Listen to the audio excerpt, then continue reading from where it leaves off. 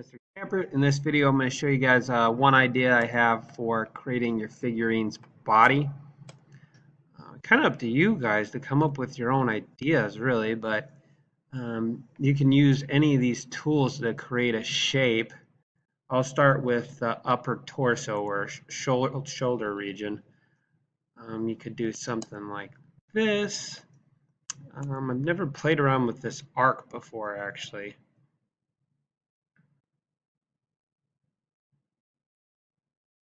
You could do something like this and then you can trim on the off the excess on it and have a shape. You could do that for both the shoulders. You'd want to make that arc the same size.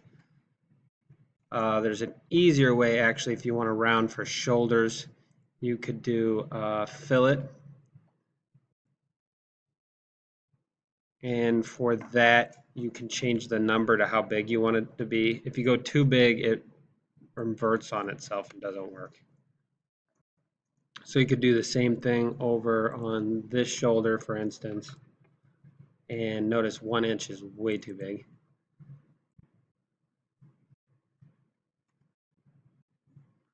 Didn't change.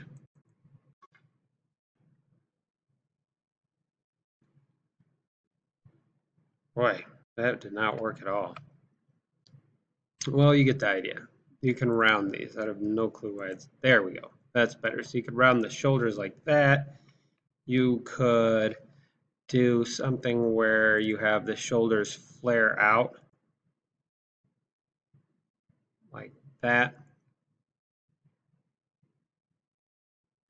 And make sure you guys are drawing this to scale.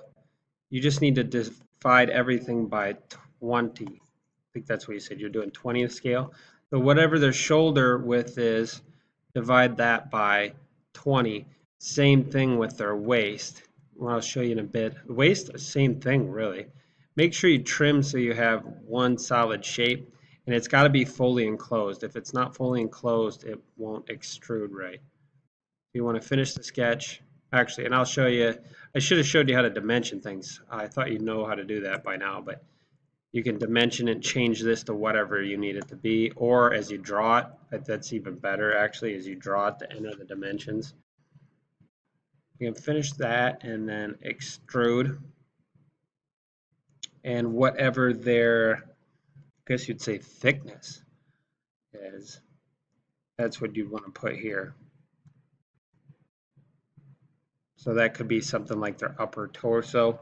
It looked like you guys wanted the body to be three pieces. So you'd want to open a new file, make sure you save that one in a folder altogether. And then you could do um, the midsection. Again, you want it to be to scale. It could just be a rectangle. I prefer if there's more detail. If you want a lot of points for this, you need more detail. Um, one thing I want to show you, oh, is you can actually go back on this and then start rounding things. You can use this fillet and you definitely want to round some stuff. And you can change the value right here. Defaults to 0.125.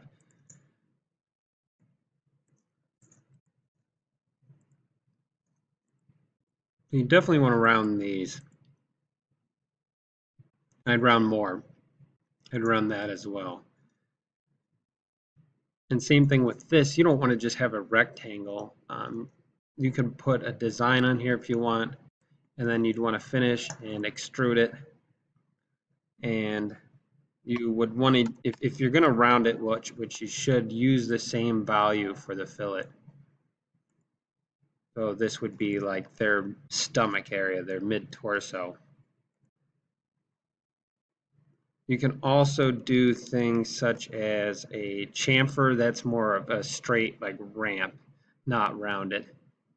Uh, there's many ways to do this. This is just some ideas. You definitely don't want to just copy what I did. Hope this helps.